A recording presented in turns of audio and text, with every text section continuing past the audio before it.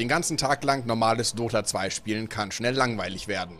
Doch die Community hat dafür vorgesorgt. In Custom Games haben sich begeisterte Spieler ausgetobt und interessante Varianten geschaffen. Wir stellen euch drei von ihnen heute vor. Wem das ganze Gefarme lästig wird und wer keine Lust auf die Laning Phase hat, der ist mit Overthrow gut beraten. Ziel des Modi ist es, eine bestimmte Anzahl an Tötungen zu erreichen. Dabei stehen weder Creeps noch Türme im Weg. Außerdem konzentriert sich ein Großteil der Kämpfe in der Mitte des Spielfeldes, denn dort steht der Midas-Thron. Und um ihn herum bekommt jeder Held zusätzliches Gold und Erfahrung. Wer also Lust auf Kämpfe hat und den Rest von Dota 2 für eine halbe Stunde vergessen möchte, der sollte den Modus einfach mal ausprobieren.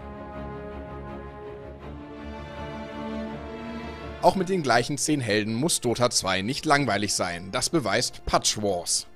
Dabei ist der Modus sogar noch recht simpel. Es gibt einen Fluss, der das rechteckige Spielfeld trennt und auf beiden Seiten stehen jeweils 5 Patchs.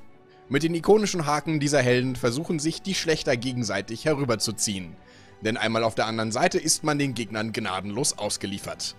Ein verloren geglaubter Teamkollege kann aber immer noch gerettet werden, der Haken wirkt nämlich auch bei Mitspielern. Gelingt es einer Mannschaft 50, 100 oder 150 Gegner zu besiegen, gewinnt dieses Team das Spiel.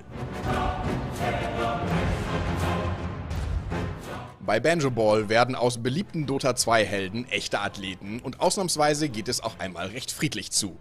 Mit sieben weiteren Akteuren geht es auf den Platz und dann wird eine Runde Fußball gespielt. Das heißt, der Ball muss ins Netz. Doch es wäre nicht Dota 2, wenn das Spiel nicht noch mit einigen Extras überzeugen würde. So stehen jedem Spieler heldenspezifische Fähigkeiten zur Verfügung, um einen Treffer zu erzielen oder ein Tor zu verhindern.